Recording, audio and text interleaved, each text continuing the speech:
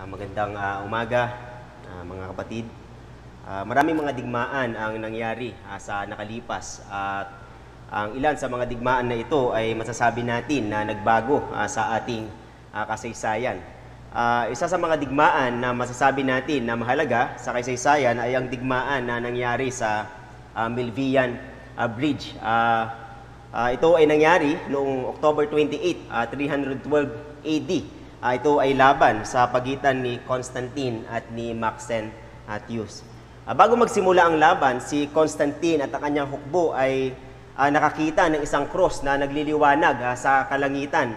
Ah, ito ay mayroong nakasulat na uh, salitang Grego, kung isasalin natin sa Latin ay in hoc signo vinces, na ang ibig sabihin, ah, in this sign, ah, concur.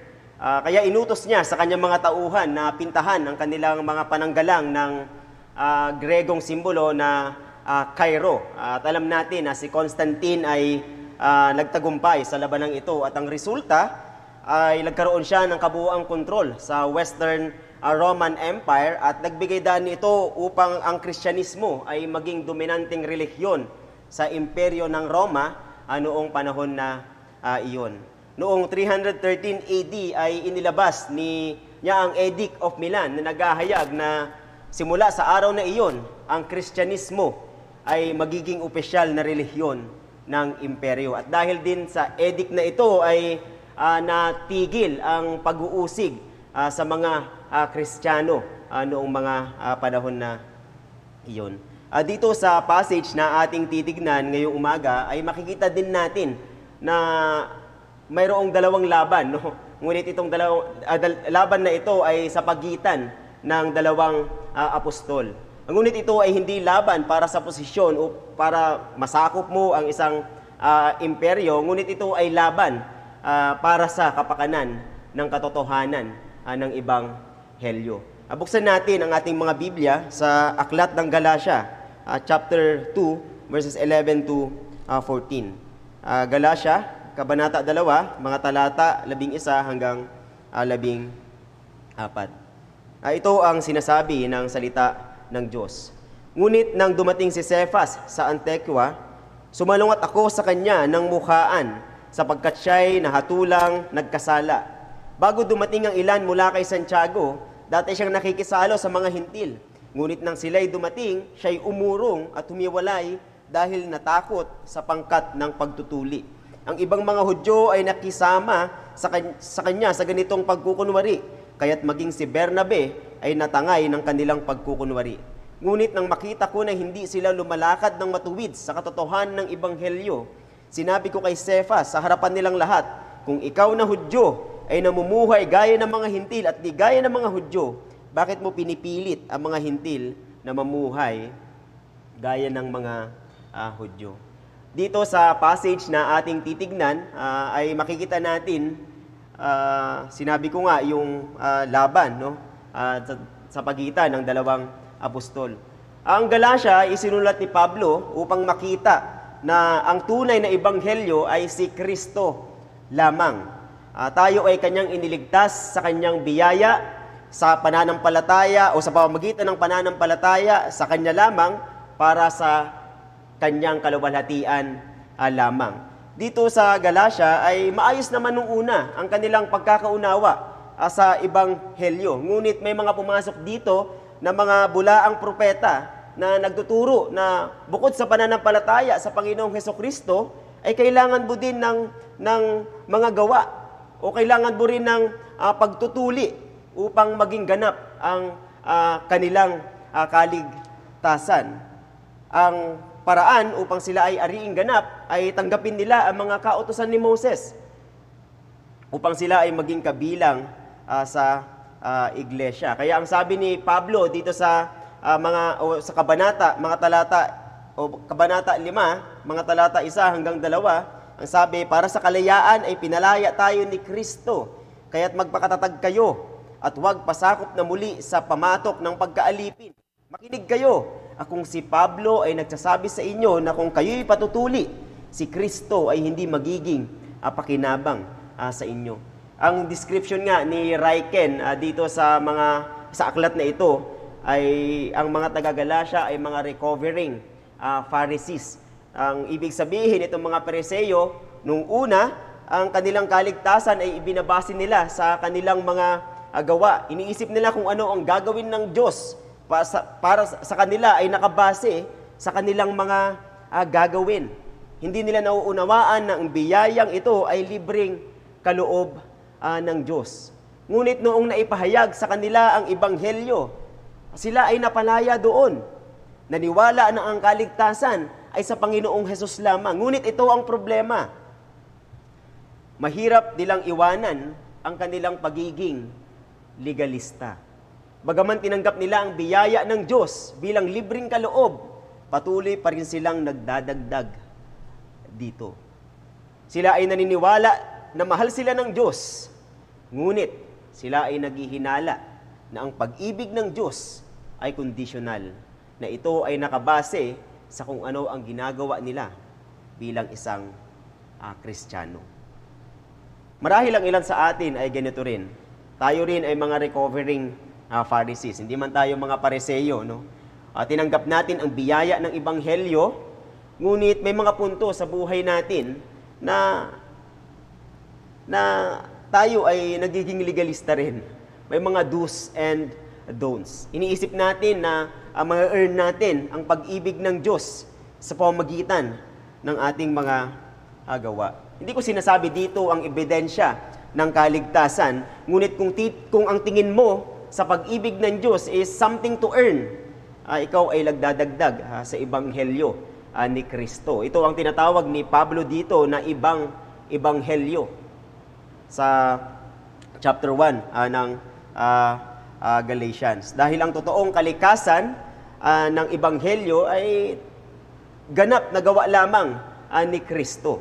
At ang Ebanghelyo ang nagpalaya sa atin uh, mula sa kasalanan, uh, mula sa pagkaalipin sa uh, kautusan. At ito ang dinidepensahan ni Apostol Pablo uh, sa aklat na ito. Ang pagiging malaya ng isang Kristiyano sa pamamagitan ng Ebanghelyo uh, ni Kristo lamang. Ang konteksto ng passage na ating titignan ay uh, nagsimula sa chapter 1, uh, ah, verse 13, uh, na kung saan ay pinapatunayan ni Pablo yung pagiging tunay ng kanyang o pagiging tunay niya na isang apostol uh, ng ebanghelyo uh, ni Kristo. Dahil nga sabi ko nga kanina ay may mga pumasok ng mga Judaizers dito at nagtuturo ng mali. At dumating sila, dumadating sila sa punto na maging yung pagiging tunay na apostol ni, ni Pablo ay kanilang kini-question. Kaya dito ay uh, kanya itong uh, pinapatunayan na ito ay uh, totoo. Uh, dito nga sa uh, chapter 1 verses 13 to 24, sinabi niya na siya ay apostol na bago pa man niya nakilala ang ibang mga apostol. At dito sa chapter 2 verses 1 to 10 ay ipinakita niya kung paano niya siya kinilala ng ibang mga apostol bilang apostol ng mga hintil. At dito sa passage na ating titignan, sa chapter 2, verses 11 to 14, ay ipinagpatuloy lamang ni Pablo ang pagdepensa niya sa kanyang pagiging tunay na apostol. Dito, niya, dito ay ipinapakita niya na bilang isang tunay na apostol, ay meron din siyang otoridad para sawayin ang ibang mga apostol na hindi kumikilos ayon sa itinuturo ng Ibanghelyo ni Kristo. Makikita natin dito na matapang na sinilungat ni Pablo si Pedro. Uh, si Pedro ay uh, sinabi sa salita ng Diyos na siya ang nangunguna no, sa ibang mga apostol. Ang ngunit dito ay matapang na hinarap ni Pablo si Pedro. Uh, sabi nga, hinarap siya ng mukhaan Ibig sabihin, tumayo siya labang kay Pedro dahil sa mali nitong asal. Hindi ito ay hindi inaasahan dahil ang dalawa ay magkaibigan, no? Uh, at parehong apostol. Ang sabi nga ni John Stott, this is without a doubt one of the most tense and dramatic episodes in the New Testament. Here are two leading apostles of Jesus Christ face to face in complete and open conflict. When Paul visited Jerusalem, Peter, together with James and John, gave him the right hand of fellowship. When Peter visited Antioch, Paul opposed him to his face. Ang bilis, no? Uh, noong bumisita si Pablo doon sa uh, Jerusalem ay ibinigay yung yung uh, right hand of fellowship sa kanya. Ngunit nung si Pedro naman ang bumisita sa Antioch ay uh, Paul opposed him to his face. Eh anong nangyari? Dahil ang katotohanan ng ebanghelyo ay nakompromiso. Malinaw sa gawa ni Pedro na inilagay niya dito sa alanganin ang ebanghelyo. Dito sa librong ito ay ipinakita ni Pablo na kapag ang tunay na kalikasan ng ebanghelyo ay nasira, sira na din ang lahat.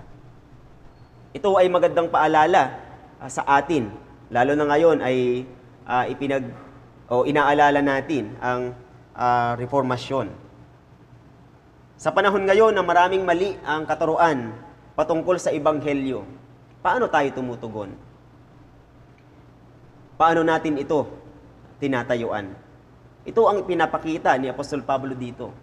Tumayo siya sa katotohanan, anuman ang maging resulta nito. Ang mensahe na nais kong o nakita ko sa uh, um, salita ng Diyos na ating titignan ay kaakibat ng paniniwala sa Ebanghelyo ay ang pagtayo at pagkilos ng naayon dito. Ulitin ko po, kaakibat ng paniniwala sa Ebanghelyo ay ang pagtayo at pagkilos ng naayon uh, dito. Uh, mayroong akong dalawang puntos na uh, nakita dito. Una ay tumayo sa katotohanan ng Ebanghelyo at pangalawa ay kumilos ng naayon sa katotohanan ng Ebanghelyo. So una, tumayo sa katotohanan ng Ebanghelyo. Anong una, uh, nakita natin dito na si Pedro ay masayang nakikisalo sa mga hintil sa hapagkainan. Ngunit nung dumating ang mga Hudyo na nagsasabi na galing sila kay Santiago o sinabi dito na pangkat ng pagtutuli, eh, si Pedro ay natakot. Hiniwalay niya ang kanyang sarili sa mga kahintil na kasama niya sa na kumakain sa iisang lamesa. Ang ibig sabihin ng hiniwalay dito, siya ay umatras. Siya ay, kumbaga, kung ilalagay mo sa termino ng sundalo, sila ay nag-retreat upang sila ay maligtas mula sa uh, kapahamakan. Hindi lamang si Pedro ang humiwalay dito, uh, maging si Barnabas at maging ang ilang mga Hudyo. Si Barnabas na kasama ni Pablo sa misyon, nakarinig ng mga katuruan ni, ni Pablo patungkol sa uh, ebanghelyo, dito ay nadamay sa pagtayo. Sumama kay Pedro. Upang ating maunawaan, no? bakit ganun na lamang ang naging reaksyon ni Pedro dito, ni Barnabas at ng ilang Hudyo. Well, ang meal times o oras ng pagkain ay sagrado para sa mga Hudyo. Ang katotohanan sa isang Orthodox na Hudyo, ang umupo na kasamang kumain ng mga pagano ay itinuturing nila na pagre-rebelde. O sa English, ito ay defiant rebellion. At naalala nyo nung kung paano mag-react yung mga Hudyo nung nakita nila si Heso Kristo ay kumakain na kasama ng mga makasalanan, kinwestiyon niya, kinwestiyon siya. Kinwestiyon ng kanyang pagiging o kanyang otoridad no, dahil sagrado para sa kanila ang makakasama mo sa hapag uh, kainan. Sa Antioch, kung saan ito naganap, ay isa ito sa mga problema na kanilang uh, kinakaharap. Ang mga apostol ay nagkaroon na ng paglilinaw na ang mga hintil ay kabilang na sa iglesia dahil uh, ang dahil sa Panginoong Heso Kristo. Hindi na nila kailangang sumunod sa mga kautosan, sa lumang tipan, upang maligtas, ngunit pagdating sa kapagkainan, ang mga hintil ay pinagbabawalan na makisalo sa mga Hudyo. Ang sabi nga sa isang salita, sa salita ng isang uh, tradisyon ay huwag kayong makisalo sa kanila sapagkat ang kanilang mga gawa ay hindi malinis. Eh, dito nga rin, eh, makikita nyo sa chapter 2, verse 15, ang tawag sa kanila ay hintil na makasalanan. Hindi dahil sa sila ay, o sa ginagawa nilang kasalanan, kung hindi yun ang uh, tingin ng mga Hudyo dahil sila ay labas no, sa kautusan. Uh, Malinaw na dito ay makikita natin na ang mga Hudyo ay mayroong pagtatangi. Kung mayroon man mas nakakaunawa pagdating dito, dapat si Pedro yon bakit? Sapagkat nauna nang ipakita sa kanya ng Diyos ang pangitain na ang Diyos ay hindi nagpapakita o walang kinikilingan. Binasa natin kanina sa mga gawa, Kabanata 10. Pagkatapos manalangin ni Pedro, siya ay nagutom, ngunit bigla siyang nawalan ng malay. Doon ay ipinakita sa kanya ng Panginoon at ibang, ibang uri ng hayop na kung saan ay ipinagbabawal no, sa mga Hudyo na kainin. Ang sabi ng Panginoon sa kanya, magkatay ka. Ngunit sabi niya, hindi maaari, Panginoon, sapagkat hindi ako kakain kailanman ng mga bagay na marumi at karumal-dumal. Ngunit ang sabi ng Panginoon, ang nilinis ng Diyos ay huwag mong ituring na marumi. Itong pangitaan na ito ay paghahanda sa kanya upang dalhin ng ibanghelyo sa mga hintil. At doon nga sa Caesarea ay binautismuhan niya ang isang Romano na si Cornelius. Doon din ay naunawaan niya na ang Diyos ay walang kinikilingan. Ang sabi nga sa uh, mga gawa, sampu, mga talata, 34 hanggang 35, tunay nga na nauunawaan ko na walang kinikilingan ang Diyos, kundi sa bawat bansa, ang sino mang may takot sa Kanya at gumagawa ng matuwid, ay kalugod-lugod sa Kanya. Ngunit dito, sa Antioch, si Pedro ay natakot sa mga pangkat ng pagtutuli. Hindi siya natakot dahil papatayin siya ng mga taong ito, natakot siya dahil maaari siyang ipahiya at siraan sa Jerusalem. Sa Jerusalem. Natakot siya na baka uh, ang kanyang uh, pagiging popular ay ma- masira o mawala makikita natin na ang pinakainaalala ni Pedro dito ay ang kanyang sarili. Mas, may, mas iniisip niya sa puntong ito ang sasabihin ng ibang tao sa kanya. Kung titignan natin sa ibabaw ang kaganapan na ito, ito ay malinaw na rasismo o racism. Uh, ngunit may mas malalim na issue dito kung bakit ganun na lamang ang naging reaksyon ni Pablo. Ang pangunahing issue dito na maaari nating makita ay ang katotohanan ng Ibanghelyo. Si Pedro, sa puntong ito, ay kinahiya ang katotohanan ito. Ang sabi nga ni Philip Graham Ryken, when push came to shove, he did not stand his ground for the truth that all Christians are saved by the same grace. Malinaw sa kanya na ang biyaya na nagligtas sa mga Hudyo at Hintil ay pareho lang. Ngunit sa puntong ito ay hindi siya tumayo sa katotohanan ito. Kung nangyari kay Peter ito, ay maaari din itong mangyari sa atin o kahit sa kaninong mananampalataya. Katulad ng isang uh, archbishop of ng o former archbishop ng Canterbury na minsan na tinanong ng isang reporter kung siya ay naniniwala sa Diyos. Sa kasamaang palad, ang tanong ay hindi niya inaasahan. Kaya ang sagot niya ay, well, sort of. It depends on what you mean by God. Ikinahiya niya ang ibanghelyo na takot na tumayo para sa Diyos. Kapag nauna ang takot mo sa tao kaysa sa Diyos, malamang na itanggi din natin ang ibanghelyo. Kaya ang hamon dito ay tayuan mo ang dakilang ebanghelyo ni Kristo at huwag matakot sa magagawa ng tao sa iyo.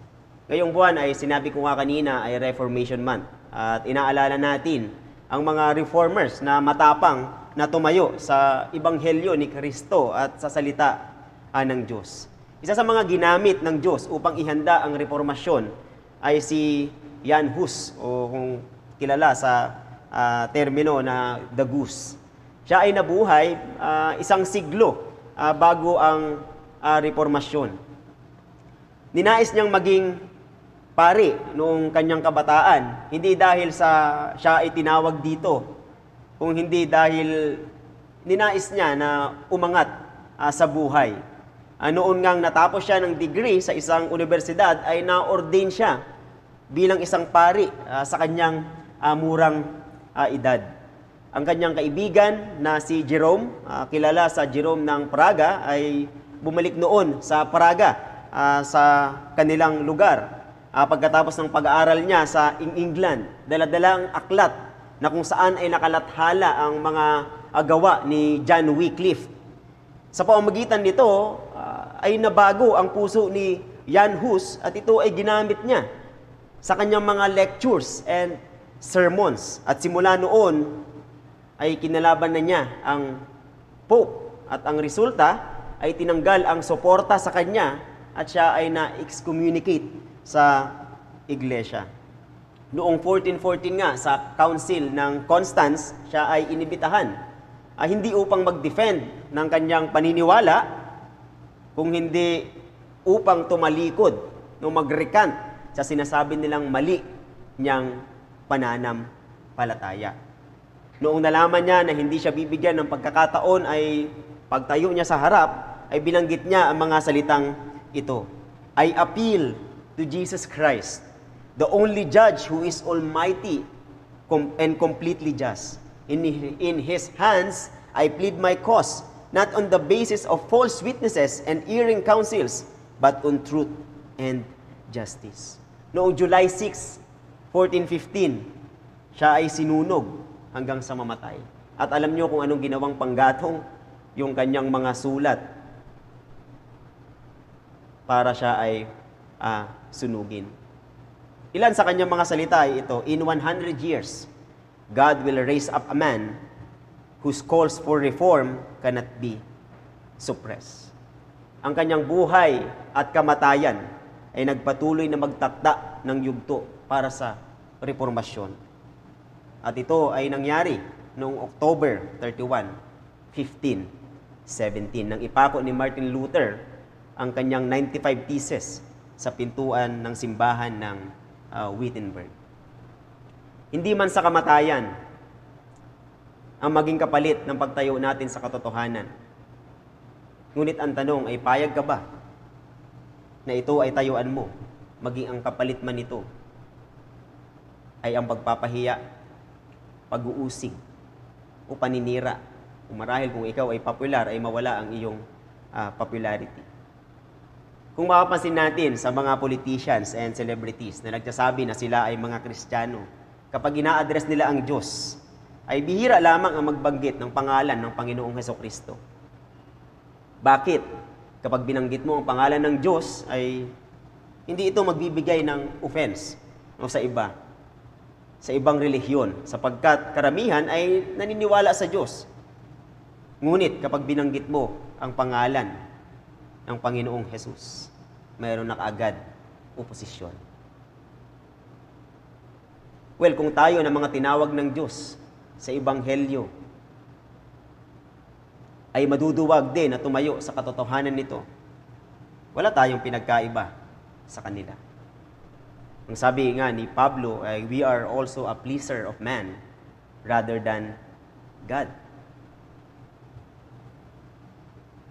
At kung ganun tayo, ang sabi ni Pablo sa chapter 1 verse 10 ng Galatians, hindi tayo mga lingkod ni Kristo.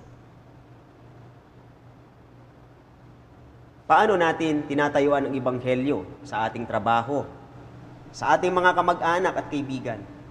Ina-identify ba natin ang ating sarili bilang Kristiyano? O madalas ay nananahimik lang tayo? Sabi nga nila, kibit, kibit, balikat. Walang kung tama yung termino ko, pero nananahimik lang tayo. Sa panahon natin ngayon na maraming mga uh, so-called pastors, so-called Christians na nagtuturo at naniniwala ng ibang ibanghelyo na tinutukoy ni Pablo sa sulat na ito, paano natin ito tinatayuan? O ang tanong dito siguro ay, sino ang tatayo no, laban sa kanila? Sino ang maghahayag ng katotohanan sa kanila? Ang problema dito, maraming Kristiyano ay hindi tumatayo sa katotohanan na kanilang pinaniniwalaan. Anong mga dahilan para makaiwas sa oposisyon to please men? Marahil peer pressure, katulad ng nangyari kay Apostol Pedro dito, o dahil sa takot? Ang sabi, fear God and you want fear. Matakot ka sa Diyos at hindi mo katatakutan ang tao. Uh, may sinabi si MacArthur, alam ko na ito ay uh, marahil ay alam ng karamihan dahil ito ay uh, nasa social media. Ang sabi niya, if the truth offends, let it offend. People are living their whole lives in offense to God, let them be offended for a while. Kung ang ibanghelyo ni Kristo ang nakasalalay sa biyaya ng Diyos, mga kapatid, ito ay ating tayuan. Katulad ng mga halimbawa na ipinakita o katulad ng halimbawa na ipinakita ni Pablo dito at ang mga reformers na nauna sa atin. Sila ay inusig at pinatay. Bakit? Dahil sa pagtayo nila sa katotohanan ito. Kung kailangan ng reformasyon noon, naniniwala ako na kailangan din natin ito ngayon. Nawa, ay masabi natin na isang araw ang sinabi ni Martin Luther noong siya ay nasa diet of worms. Uh, ito ay uh, alam kong alam ninyo. Ang sabi, I am bound by the scriptures. I have quoted, and my conscience is captive to the word of God. I cannot and I will not recant anything since it is neither safe nor right to go against conscience. I cannot do otherwise Here I stand. May God help me. Nawa ay tayo ay uh, tumayo sa katotohanan uh, ng Ibanghelyo. Uh, pangalawang puntos na makikita natin dito ay kumilos ng naayon sa katotohanan ng Ibanghelyo. May mga tao na takot o ayaw itama ang pagkakamali ng iba. Uh, takot sila na magkagulo, uh, masira ang relasyon. Kaya iniiwasan nila na harapin kung ano ang uh, problema. Ngunit si Apostol Pablo dito ay hindi katulad ng ibang tao. Hindi niya masyadong iniisip kung ano ang sasabihin ng ibang tao. Lalo na dito, ang nakasalalay ay, ay ang ebanghelyo uh, ng Panginoong uh, Heso Kristo. Kaya nung nakita niya si Pedro na ang kinikilos ay iba sa katotohanan ng Ibanghelyo, walang pag-aalinlangan na ito ay kanyang hinarap. Matapang na hinarap. Ang sabi nga sa talata, alabing isa, ngunit nang dumating si Cephas sa Antekwa, sumalungat ako sa kanya ng mukhaan sapagkat siya'y nahatulang nagkasala. Sa verse 14, ang sabi, ngunit nang makita ko na hindi sila lumalakad ng matuwid sa katotohanan ng Ibanghelyo, Sinabi ko kay Cephas sa harapan nilang lahat, kung ikaw na Hudyo bak ay ay uh, namumuhay gaya ng mga hintil at di gaya ng mga Hudyo, bakit mo pinipilit ang mga hintil na mamuhay gaya ng mga Hudyo? Ang sinasabi dito, nung una ay uh, ini-enjoy mo ang iyong kalayaan uh, bilang isang mananampalataya ni Kristo. Ngunit bakit bigla mong pinipilit ang mga hintil na mamuhay bilang isang Hudyo. Nung una, ikaw ay malaya na kumakain kasama ng mga uh, hintil. Ngunit, bigla mong sinasabi na itong mga hintil na ito ay hindi pa ganap na kristyano. At kailangan nilang sumunod o magpatuli o sumunod sa mga kautosan ni Moises. May mga problema na maaaring pag-usapan ng pribado o itama sa pribadong pamamaraan. Ngunit ang pagkakasala ni Pedro dito ay hayag sa buong iglesia. Kaya ang ginawa ni Pablo ay kinompronta siya sa harap ng buong iglesia, sa publiko. Hindi niya ginawa ito dahil gusto niya lang uh, makipagtalo o itinuturing niya si Pedro na bilang isang kaaway, Ngunit ang kasalanan ni Pedro dito ay hayagan At higit sa lahat, dahil ang ebanghelyo ay nailagay sa alanganin. Ang sabi ni John Stott sa uh, teksto na ito, He, that is Peter, knew perfectly well that faith in Jesus was the only condition on which God will have fellowship with sinners. But he added circumcision as an extra condition on which he, has, he was prepared to have fellowship with them, thus contradicting the gospel. Ito ang ipinapakita ni Pedro sa kanyang ginawa. Bukod sa pananampalataya kay Kristo, ay kailangan mong uh, tanggapin ang mga Jewish customs and practices bago ka matanggap sa iglesia. Eh kung hindi tumayo si Pablo dito, ang iisipin ng mga Gentile Christians o mga hintil na Kristiyanong ito, ay wala silang choice kung hindi mamuhay bilang isang Hudyo. Kailangan din nilang magpatuli, sumunod sa mga uh, kautusan upang mabuo ang kanilang kaligtasan. Ito ay salungat sa itinuturo uh, ng Ibanghelyo uh, ni Kristo. Dito ang kanilang gawa ay malinaw na hindi nagpapakita ng katotohanan kanilang pinaniniwalaan. Ito rin ay babala para sa atin. Maari na tayo ay naniniwala sa Ibanghelyo Ngunit ang uri ng ating pamumuhay ay malayo dito. Ang sabi ni uh, John MacArthur, faithfulness involves more than believing the right doctrine. Right doctrine without right behavior always produces hypocrisy. Ano ba yung uh, ibig sabihin ng salitang hypocrisy? No? uh, ang salitang hypocrisy ay uh, parang nasa teatro na mayroong uh, aktor na nagsusuot ng maskara para gampanan yung uh, dapat niyang gampanan no, doon sa uh, uh, teatro na kanilang uh, ginagawa. Eh ganun yung ipinapakita nila Pedro dito. Hindi naman talaga sila naniniwala na ang kaligtasan ay ay uh, na kailangan mo sumunod sa kautosan, ngunit dahil sila ay natakot no, sa mga pangkat ng pagtutuli, sila ay tumayo, hiniwalay ang kanilang sarili doon sa mga hintil na uh, Kristiyano.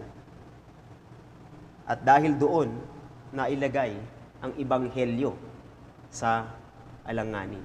Bilang mga tinawag ng Diyos muli sa Ebanghelyo, tayo dapat ay maingat na namumuhay dahil maging sa ating mga mali, maliliit na pagkakamali tulad ni Pedro, ni Barnabas at ng ilang Hudyo dito ay maaari nating mailagay ang Ebanghelyo sa alanganin. Ang pagiging isang Kristiyano o pagiging reform ay hindi natapos doon sa pag-alam ng mga katotohanan sa mga doktrina ng mga teolohiya, dapat ang kasunod nito ay ang makajos na pamumuhay. Ang sabi nga nila, mas madaling mag-aral ng theology kaysa magkaroon ng makajos na uh, pamumuhay. Hindi ko hindi ako laban sa pag-aaral ng uh, teolohiya sapagkat ako ay uh, estudyante rin ng GMA. Mahal ko ang theology.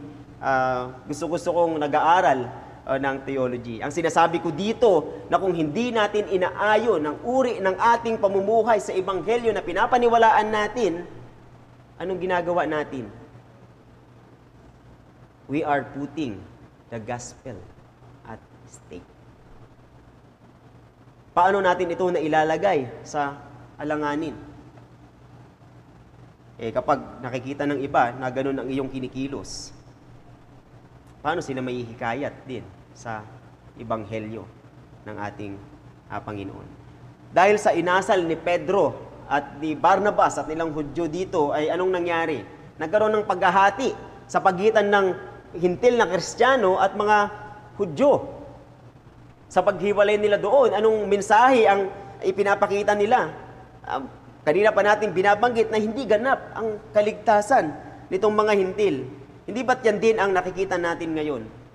May mga Kristiyano na kapag ang iba ang paniniwala ng ilan uh, patungkol sa mga uh, maliliit na doktrina o minor doctrines, uh, for example, uh, eschatology o ilang mga charismatic na mga na denominasyon o Pentecostal, anong ginagawa ng ilang mga Kristiyano?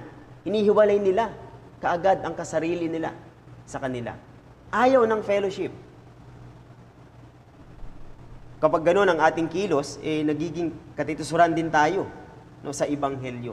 Ang sabi ni Pablo sa unang Korinto, Kabanata 8, mga talata 1 hanggang 3. Ngayon, tungkol sa mga pagkaing inihain sa mga Diyos-Diyosan, nalalaman natin na tayong lahat ay may kaalaman. Ang kaalaman ay nagpapalaki ng ulo, ngunit ang pag-ibig ay nagpapatibay. Hindi sinasabi ni Pablo dito na hindi mahalaga ang kaalaman. Ngunit kung ang kaalaman mo ay hindi nag, ay nagdudulot sa iyo ng pagmamataas, ay hindi mo talaga nauunawaan ang kaalaman na iyan. Ang ating kaalaman, ano dapat ang dulot nito? Ang dulot dapat nito ay pag-ibig. Pag-ibig. Ang sabi sa salita ng Diyos, ang sabi sa, sa John, ang mga Kristiyano, paano sila makikilala ng mga disipulo ni Kristo kung sila ay nag-iibigan.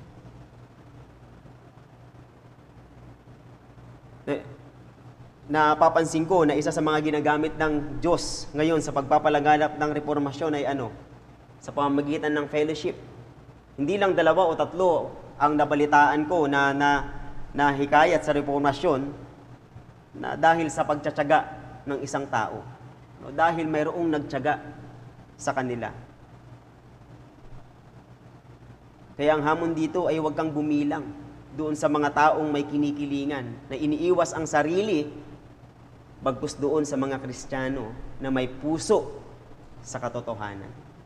Tanungin natin ang ating mga sarili. Ano ang ipinapakita natin sa ating mga kilos? Nagpapakita ba ito ng pagiging isa natin kay Kristo o ito ay nagpapakita ng nasalungat sa Ibanghelyo na ating pinapanampalatayanan. Nawa ang ating kilos sa biyaya ng Diyos ay inaayon natin sa Ibanghelyo na ating pinaniniwalaan. Sa mga kaibigan namin na nanonood uh, sa live streaming o nandito sa ating kalagitnaan, marahil ikaw ay an, nahamon na tumayo din para sa Panginoong Heso Kristo. Magandang naisin iyan. Ngunit tanging may relasyon, ang may relasyon lamang sa Panginoong Hesus ang inutusan ng Diyos upang gawin ito. Ang hamon ay manampalataya ka sa Panginoong Heso Kristo. Magsisi sa iyong mga kasalanan. Siya ay namatay para sa iyo upang bayaran ang iyong kasalanan. Kaya ikaw ay manampalataya uh, sa Kanya. Tulad ng sinasabi ni Pablo dito na, na ang kaligtasan ay hindi nakabase sa ating makagawa. Ito ay nakabase sa gawa lamang ng ating Panginoong Heso Kristo. Kaya ikaw, huwag kang manangan sa iyong sariling gawa upang maligtas, pagkus ikaw ay manampalataya kay Kristo lamang. Kay Kristo lamang. At sa atin na mga mananampalataya ay nawa, mga kapatid, uh, tayo ay uh, huwag mag-aalinlangan na tayuan ang ibanghelyo na ating pinaniniwalaan at iayon ang buhay natin sa ibanghelyo na ating pinanam pananampalatayanan. Tayo ay manalangin. Aming Diyos, kami po ay nagpapasalamat sapagkat ang inyong salita ay lagi nagpapaalala sa amin uh, patungkol sa sa ebanghelyo uh, ni Kristo. Maraming salamat po Panginoon sa paalala na uh, ang inyong ebanghelyo ay kailangan naming tayuan at ito ay uh, kailangan naming iayon ang aming mga buhay. At sa inyong biyaya, Panginoon, tulungan niyo po kami na ito po ay aming uh, magawa. Ganon din ang dalangin namin para sa mga kaibigan namin na nandito na hindi pa nananampalataya sa Panginoong Heso Kristo. Dalangin ko na kilusan niyo po sila ng inyong banal na Espiritu ah, maunawaan nila ng pangangailangan nila ah, sa Panginoong Heso Kristo at sila ay manampalataya at magsisi sa kanilang mga kasalanan. Pinupuri po namin kayo, O Diyos, sa umagang ito. Ito po ang aming panalangin sa pangalan po ng aming Panginoong. Amen.